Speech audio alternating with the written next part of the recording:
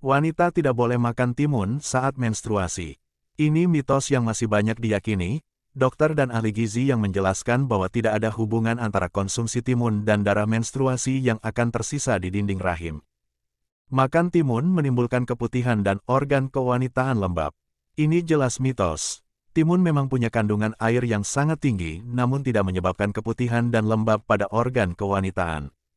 Sebaiknya makan timun setelah makan sate.